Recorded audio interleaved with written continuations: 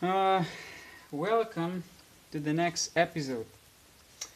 Uh, today I'm going to show you uh, what could happen if you're using it, uh, if you're using the uh, top of the range Shimano MTB uh, group set, especially the sprocket, the rear sprocket, what kind of failure you can expect during, let's say, lifetime ex uh, expectancy but uh, this failure in this sprocket was basically made uh, after four or five thousand kilometers which is not so so much in terms of uh,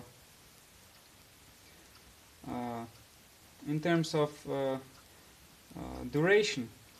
So what we have in here, it's basically one of the the segment uh, inside this, the, the cassette uh, especially this is 19 and 21 teeth uh, segment.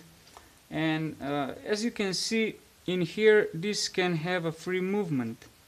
Uh, even though you can see all these pins in here were stretched out in the axial direction.